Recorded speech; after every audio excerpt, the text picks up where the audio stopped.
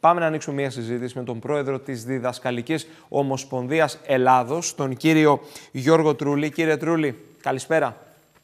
Καλησπέρα κύριε Παναγιώτοπουλε. Ε, να διορθώσω, αντιπρόεδρος. Αντιπρόεδρος της Διδασκαλικής ναι. Ομοσπονδίας Ελλάδος. Ε, αύριο ανακοινώσεις, ε, αντιπρόεδρε, για τη λειτουργία των δημοτικών; Αυτό είδαμε σήμερα. Ε, βέβαια η αλήθεια είναι ότι εμείς είχαμε μια ενημέρωση από την Υπουργό. Μας είπε ότι αυτό το οποίο βλέπουν ε, προφανώς σε συνεννόηση με τους ειδικούς είναι ότι μάλλον τη Δευτέρα πάμε σε κλείσιμο των σχολείων.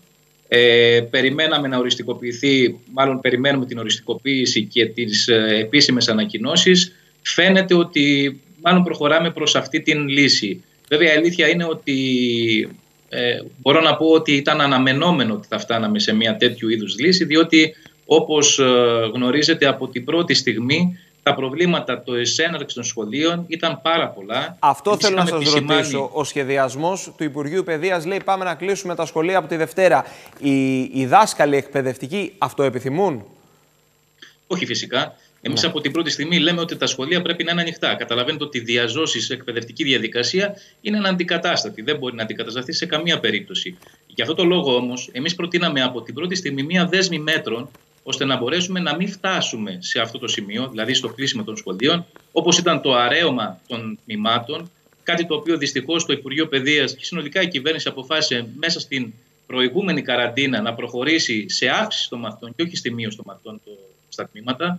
Έχουμε 25 παιδιά δηλαδή μέσα σε τμήματα μαζί με τους εκπαιδευτικούς ε, σε 30 και 35 τετραγωνικά μέτρα. Αρέωμα Έχουμε... τμήματων και επέκταση τοποθετήσεις εκπαιδευτικών, προσλήψεις. Βεβαίως, βεβαίως, βεβαίως. Και φυσικά μην ξεχνάμε ότι, έχουμε, ότι οι τάξεις μας δεν είναι τάξεις ε, σταθερού αριθμού και προσώπων, διότι όπως γνωρίζετε υπάρχουν πάρα πολλοί εκπαιδευτικοί οι οποίοι μετακινούνται μπαίνουν σε κάποιες ώρες μέσα στην τάξη, μπαίνουν μετά σε άλλα τμήματα και μάλιστα έχουμε και εκπαιδευτικούς οι οποίοι μετακινούνται από σχολείο σε σχολείο. Αλλά προσέξτε, νομίζω ότι ένα, ένα, ε, ένα σημείο το οποίο ήταν σημείο κλειδί, αν θέλετε, από την, πρώτη, από την στιγμή που άνοιξαν τα σχολεία, το οποίο το, το φωνάζαμε εκείνη τη χρονική στιγμή, ήταν ότι έπρεπε να προβλεφθεί ώστε να υπάρχουν δωρεάν εκπαιδευτικούς και μαθητές για ένα απλούστατο λόγο.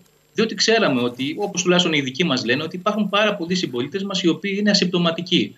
Τους ασυμπτωματικούς λοιπόν δεν μπορούσε να τους προβλέψει κανένας. Όταν δεν έχεις συμπτώματα, λοιπόν, δεν μπορείς ούτε καραντίνα να μπεις, ούτε να, να, να προσέχεις πέρα από το να φοράς μία μάσκα. Άρα λοιπόν έπρεπε να υπάρξει αυτή η διαδικασία η οποία υπήρξε σε άλλους εργασιακούς χώρους, όπως ήταν τα γεροκομεία κλπ.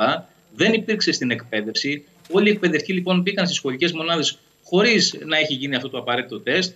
Και προφανώς όταν είχαμε στην, κατά τη διάρκεια της πορείας αυτής της περίοδου, είχαμε πάρα πολλές περιπτώσεις τμήματων τα οποία κλείνανε, αλλά προσέξτε, δεν γινόταν η χνηλάτιση και να ελεγχθούν οι υπόλοιποι μαθητές και εκπαιδευτικοί κατά πόσο μπορεί να έχουν κορονοϊό, απλά παρέμεναν στο σπίτι του. Είχαμε και πολλές περιπτώσεις εκπαιδευτικούς. Να ναι, ναι, ολοκληρώστε. Εκπαιδευτικούς, ναι. εκπαιδευτικούς, οι οποίοι μπαίναν στα τμήματα, αλλά αυτοί επειδή δεν ήταν οι, οι εκπαιδευτικοί των τάξεων, δηλαδή οι υπεύθυνοι των τάξεων, αυτοί συνέχισαν κανονικά την εργασία τους την επόμενη μέρα. Πάμε στη Δευτέρα και στην ε, διαδικασία πώς θα τρέξει από Δευτέρα σε περίπτωση βέβαια που αποφασιστεί οριστικοποιηθεί το κλείσιμο των δημοτικών. Είδαμε τα προβλήματα που αντιμετώπιζαν οι μαθητές γυμνασίων και ηλικίων μέσα από την τηλεκπαίδευση. Την Δευτέρα στα δημοτικά τι θα επικρατήσει; Για τους μαθητές δημοτικού. Κοιτάξτε, ε, αν αυτό το οποίο μας μετέφερε η Υπουργός ε, θα ισχύσει, δηλαδή ότι θα έχουμε αξιοποίηση της ε, εκπαιδευτικής τηλεόρασης από τις 9 το πρωί μέχρι τις 12 το μεσημέρι και μετά τα μαθήματα θα διεξάγονται από τις 2 το μεσημέρι μέχρι και τις 5 το απόγευμα.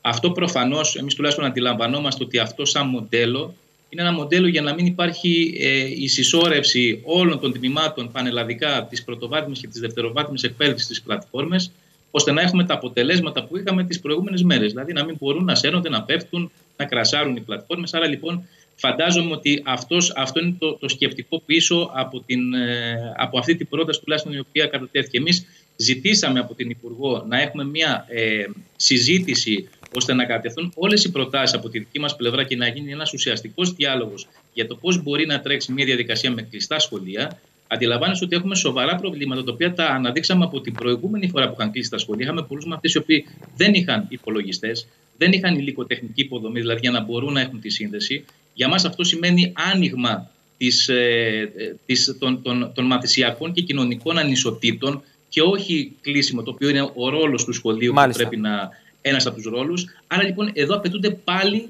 έξτρα μέτρα και φυσικά η κριτική που οφείλουμε να κάνουμε είναι ότι πέρασαν 8 μήνες αλλά δυστυχώς δεν έγινε το παραμικρό σε αυτή την κατεύθυνση. Κύριε Τρούλη, η λίστα με τους αναπληρωτές θα ξεκολλήσει, θα προχωρήσει και αν ναι, σε ποιο βαθμό; Κοιτάξτε, εδώ στην κατάσταση που βρισκόμαστε, αντιλαμβάνεστε ότι όλα εξαρτώνται από το αν θα κλείσουν ή θα, αν θα παραμείνουν ανοιχτές σχολικές μονάδες. Ακριβώς. Αν, αν, αν παραμείνουν ανοιχτές σχολικές μονάδες, καταλαβαίνετε ότι αυτή τη στιγμή που μιλάμε έχουμε πάρα πολλές εκπαιδευτικές ανάγκες, ειδικά στην ειδική αγωγή, παράλληλες στηρίξεις οι οποίες λείπουν ή ε, παράλληλες στηρίξεις οι οποίες αυτή τη στιγμή φαίνεται να είναι ε, για δύο παιδιά ένας εκπαιδευτικός. Όλα αυτά έπρεπε να είχαν ήδη δρομολογηθεί. Υπήρχε η πληροφορία ότι αυτές τις μέρες θα είχαμε κάποιες προσλήψεις. Φαίνεται να έχουν παγώσει όλες αυτές οι διαδικασίες. Επομένως, απλά αναμένουμε να δούμε τελικά τι θα γίνει από Δευτέρα. Μάλιστα. Κύριε Τρούλη, να σας ευχαριστήσω πολύ. Καλό απόγευμα. Να είστε καλά, να είστε καλά. Καλή συνέχεια.